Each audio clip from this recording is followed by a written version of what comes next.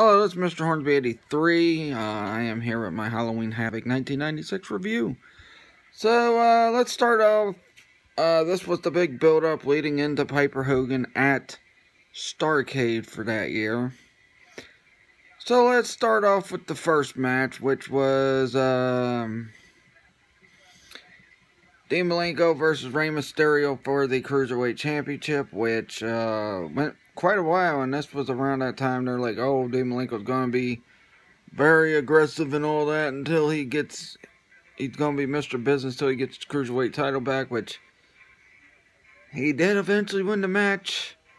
I believe this was uh, on the verge of his face turn as well, because before that he was a heel. But, um... So, Dean Malenko, I even think he shook Rey Mysterio's hand after the match. Um, then next up, I believe it was DDP versus Eddie Guerrero for the Battle Bowl ring. I think it, Eddie Guerrero won it, but DDP stole it and claimed it was his because he had won it, you know. Or no, wait a minute, I think DDP won it. I think Eddie Guerrero stole it from him and uh, DDP wasn't too happy about that, so he wanted to. So DDP wins the match with the Diamond Cutter. This match was pretty good. Um, which we were getting ready to head toward that push DDP was about to get, especially going toward DDP's face turn. Um, next up after that was uh, Jeff Jarrett versus the Giant. Ric Flair was in the corner of Jeff Jarrett. Jeff Jarrett was an honorary horseman, and at this time, the Giant and the NWO had attacked Ric Flair and injured him. And the Giant had stole the U.S. title from Ric Flair, which Ric Flair had just won, I think. I think he, I, I can't remember when he won it. I think it was Hog Wild that year, but, um, um, nothing too much about this match except for Giant was getting ready to choke slam Jarrett on the outside, and Ric Flair low blowed him, which was pretty funny. Um, I think that was about it. Then after that, I believe we got. I think it was Rick. I think it was Syxx against Chris Jericho. I could be wrong. I don't know if it was Syxx against Chris Jericho or Lex Luger against Arn Anderson, but I think. I think it no, it might have been. I'll go with Lex Luger versus Arn Anderson. Now, this feud had started because Arn Anderson kept questioning Lex Luger's loyalty to WCW, this and that, and you know he was trashing Sting because they all thought Sting had turned and went hightail. And uh, Arn Anderson, Lex Luger, before the match, said he's going to show a very aggressive side of himself, and he's going to injure. Um, He's going to injure Arn Anderson. Um, which he did pretty much what he said he was going to do because Arn Anderson got injured allegedly in the match and all that. And um, Luger won the match, proved he. And then not too long after that, Arn Anderson was like, you know what? Luger's braver than what I thought he was. He was so aggressive. I was so uh, impressed with him uh, at Halloween Havoc not too long after that. Um, I think the Syxx and Jericho match was before the Luger Arn Anderson match. But I'm getting ready to do a Syxx Jericho match. Um, NWO had their little interview. They were up in the uh, audience area around the cassette stand. That was their little interview area or whatnot. Um, this match was pretty good as well. In the end, Syxx ended up winning uh, to kind of I guess, start a role that the NWO was on anyway. The only loss they had was the Giant, or no, the Giant one as well.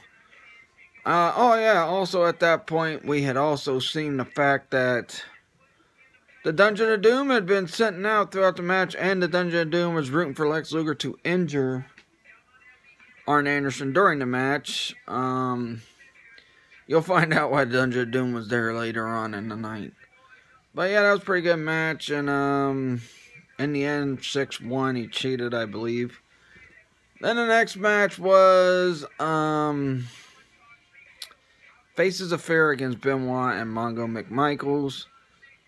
This is why the Dungeon of Doom were sitting out because the feud between Taskmaster and Benoit was still going on over.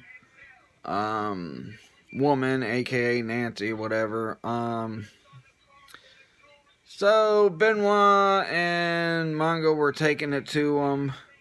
Benoit and McMichael did beat the Faces of Fear, but then they got jumped by the Dungeon of Doom after the match. They were just brutalizing Benoit and McMichaels.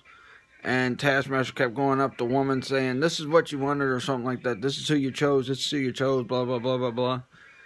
But that's why the Dungeon of Doom was out there. Flair and them run out to save them, Flair and Jarrett. But uh, it was a little too late because both men had been laid out. Um, but yeah, that was a pretty good match. And they were really pushing Benoit at this time, it seems like, because they kept hyping him. He's they're like, oh, Benoit's got no fear, this and that. Benoit was face to face with Meng and the Barbarian in that match a lot. Um, so I think they were trying, they were going to start pushing Benoit, but because of WCW's dumb decisions and the NWO completely taking over things, that got changed. So next up was the WCW World Tag Team Title match between the uh, Outsiders and the Harlem Heat. Yeah, I don't think there was another match before that or after that. No, it was, yeah, that was it. Anyway, this match, you know, Harlem Heat got robbed. This is the match where Colonel Parker gave the stick to Kevin Nash. Nash hits Booker T with it. Hall gets the pin. And the Outsiders become the NWO Tag Team Champions. Um, it was a pretty good match. I guess it was, I guess you could say it was decent, but uh, eh, I don't know. So then next up was the big main event. Hulk Hogan versus Macho Man Randy Savage for the WCW World Heavyweight title. The whole storyline was what is Elizabeth going to do? Is she going to join with Hogan and them or join with Macho Man or stay on her side or whatnot? Um, really, Macho Man, honestly, um, they really didn't clarify what she was going to do during this match. But this match did end in controversy with the Giant helping Hogan retain the title after not after Macho Man that laid him. Also, throughout the night, you've seen that they were playing up the whole thing with uh, uh, Nick Patrick being a part of NWO. Well, the only one defending him was Bobby the Brain Heenan, but they were playing up the whole thing. He did play a part in this match here. And like I said, Macho Man got robbed out of the match. Hulk Hogan wins. He's celebrating this and that. And then guess who shows up? Rowdy, Rowdy Piper. Which I think was a big surprise at the time. I don't think anybody expected Piper to be at Halloween Havoc this year. Or, well, that year. Um, he comes out, he's talking smack to Hogan, talking about, you know what? We've had battles, we've had wars that, well, Hogan said we have wars that to settle the score, but didn't settle the score. Um, Hogan's like, you know, Piper's talking about how you need to admit I'm as big as an icon as you because I've made movies and this and that too. Because Hogan cut a promo about him just getting back from Hollywood, uh, doing his little Three Ninjas movie, which was one of the worst Three Ninja movies ever. Um, so he was doing that shtick before the match. Um, and any Hogan Macho Man match usually turns out pretty good. But anyway, back to Piper and Hogan. Piper's saying stuff, and then Hogan's like, you know what? We do finally need to have that war to settle score.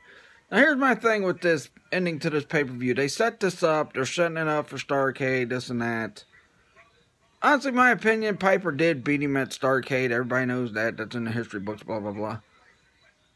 They should put the title on the line. I mean, honestly, they should have. They should have put the title on the line, have Piper beat Hogan, and then, you know, Bischoff and them doing whatever they can to sign him or the board directors, because Bischoff, not too long afterwards, turned heel and was revealed to be behind the whole NWO thing. You know, the whole NWO thing from day one. Um, I don't think the Steiners were on this card. I think Scott was still injured. Uh, but yeah, after the promo, the pay-per-view ends, but Piper still had a little bit more to say to Hogan, but the pay-per-view ended. Um, overall, this pay-per-view was a very good one. Um, had some good matches. DDP versus uh, DDP versus uh, Eddie Guerrero. Hogan versus Macho Man. Um, the cruiserweight title match wasn't bad. Just a little too long. The Jericho uh, Syxx match was pretty good. Um, so I'm gonna give this pay per view a five out of five. Halloween Havoc 1996 was a pretty good pay per view. I really enjoyed it when I first seen it, and I just recently enjoyed it again when I watched it. I think it was Saturday to get prepared for this review. But uh, like I said on the Facebook Live video I did earlier, if you uh, want me to do more videos like this, like do retro wrestling pay-per-views like WWE, WCW, ECW, whatnot, uh, let me know in the comments and all that. Um, also, I need you guys to go vote on my Twitter poll to see what y'all want me to do tomorrow night. Um, also,